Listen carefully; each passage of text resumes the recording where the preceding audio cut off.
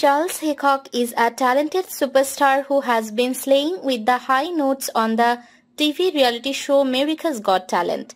Charles Haycock is an African-born Canadian stand-up comedian here in Alberta. He has appeared on CBC Comedy. He has appeared on national television and radio as well as at festivals like Just for Laughs in Montreal. He may not display this skill on AGT, but he is also a talented yo-yo artist. His viral best friends routine on Instagram has over 4.8 million views and nearly 527k likes. Charles Haycock is a unique comedian in many ways.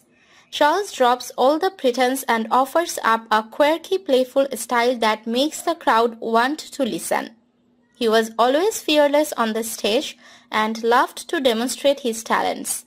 The best is randomly seeing somebody fantastic live without knowing about them prior. You are being surprised by the full experience. This is how I found out about Andrew Schulz years ago.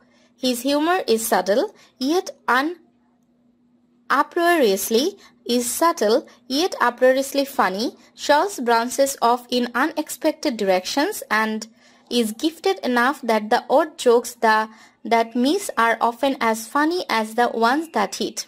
He embodies the old saying that a good comedian says funny things, but a great comedian says things funny, which is why he has been turning heads since taking to the stage in 2012. His natural talent along with a strong work ethic and pure love of performance